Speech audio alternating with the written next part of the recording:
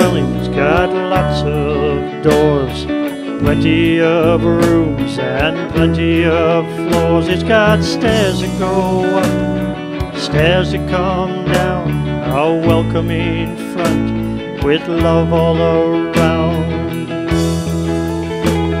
A room of tenderness and a room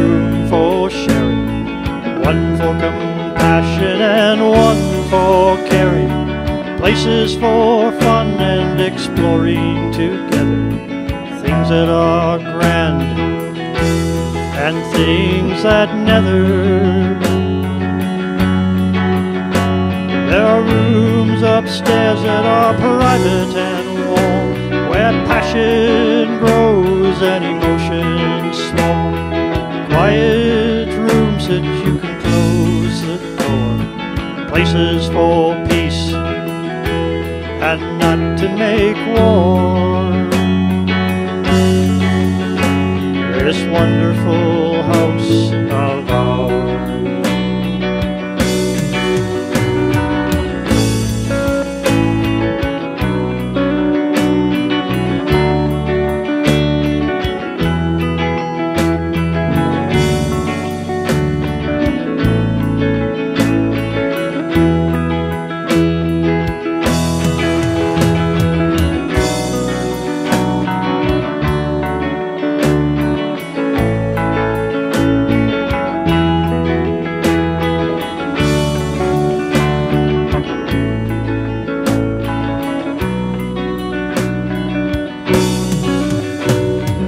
Place in the house that has no door. It's a room with wit, laughter at a roar, and it spills through the house.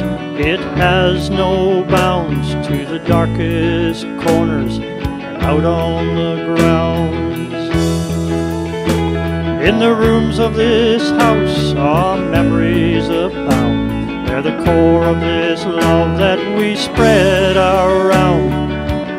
of respect that honor the rest, places of hurt that become a test.